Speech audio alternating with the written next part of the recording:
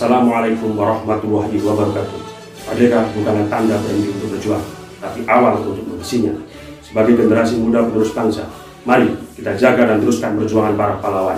Saya, Hermawanto, jajaran Koprovos Banjar Satuan Koordinasi Nasional mengucapkan Dirgahayu Republik Indonesia ke-76, NKRI harga mati, Indonesia tangguh, Indonesia tumbuh. Merdeka! Assalamualaikum warahmatullahi wabarakatuh.